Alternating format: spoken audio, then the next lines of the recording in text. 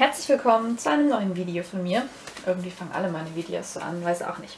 Heute möchte ich euch zeigen, wie man so einen Kunstfellteppich wieder schön sauber bekommt. Und zwar so, dass er flauschig ist danach und nicht so verklebt, wie wenn man ihn einfach nur wäscht. Ich habe hier so diesen weißen Teppich bei mir im Wohnzimmer liegen. Da hat mein Hund sein Leckerchen drauf gefressen und seinen Knochen. Deswegen ist das hier alles so ein bisschen grau verfärbt und verbröselt und ja, sieht einfach nicht mehr schön aus.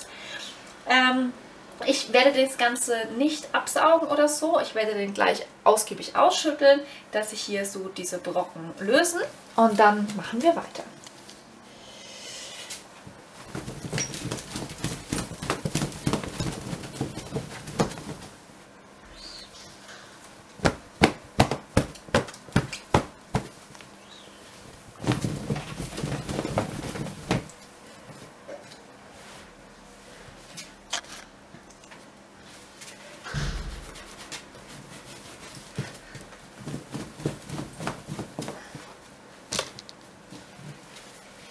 So, jetzt habe ich den ganzen Teppich einmal gut durchgeschüttelt. Das macht man natürlich am besten mit einem Teppichklopfer am Fenster oder draußen.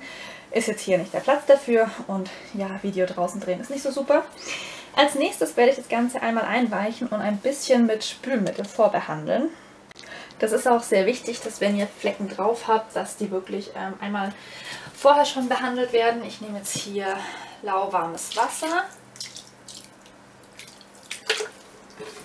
dann einmal ein bisschen äh, Spülmittel dazu, verreibe das dann. Äh, das ist deswegen wichtig, ähm, Spülmittel ist fettlösend, das Ganze hier ist natürlich Fett von den Hundeknochen. Ähm, das sichert mir eigentlich dann nur zu, dass diese Flecken dann auch wirklich draußen sind. Natürlich super, das auf so einem Parkettboden hier zu machen, aber geht anders jetzt nicht. So,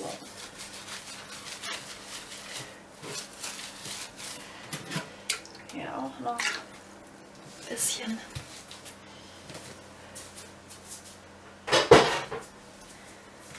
So. Und jetzt darf der ganze Teppich bei einem Schonwaschgang für Handwäsche in die Waschmaschine. Ich habe das Fell jetzt aus der Waschmaschine genommen und habe es trocken aufgehangen. Ihr dürft natürlich ähm, so Kunstfell auf gar keinen Fall schleudern. Also das wirklich tropfnass aus der Wäsche nehmen. Und dann wird das Ganze getrocknet erstmal so unschön ausschauen. Und damit wir das wieder wie hier äh, so flauschig wie neu kriegen, verwende ich eine Hundebürste. Ähm, die verlinke ich euch auch in der Infobox, dass ihr die bestellen könnt. Die ist ähm, nicht teuer und eignet sich wirklich hervorragend dafür. Bitte auf gar keinen Fall irgendwie einen Haarkamm oder eine Haarbürste dafür nehmen. Damit beschädigt ihr einfach zu viel Struktur und reißt zu viele Haare raus. Ich zeige euch das einmal kurz, wie leicht es geht. Und zwar gehe ich einfach ganz leicht hier über diese Verklebungen drüber. Und dann kann ich das wunderschön glatt bürsten. Und wie ihr hier seht, es gehen ein paar Haare raus, klar, aber nicht so viel, wie wenn ihr eine richtige Bürste nehmt. Ich mache hier mal weiter.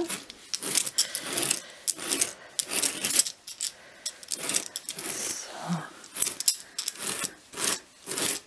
Ja, und so reinigt und pflegt ihr am besten eure Kunstfellteppiche.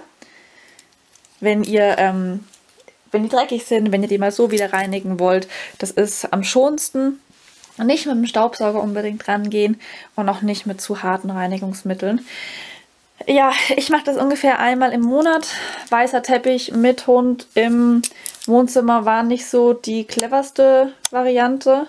Oh, ich habe die Kamera zu hell eingestellt gehabt. Aber ich denke, man hat es trotzdem ganz gut gesehen. Ja, ich hoffe, ich konnte euch damit ein bisschen weiterhelfen. Ihr probiert es mal mit euren Pelzen, Teppichen nach. Und ja, wir sehen uns beim nächsten Video. Bis dann. Tschüss.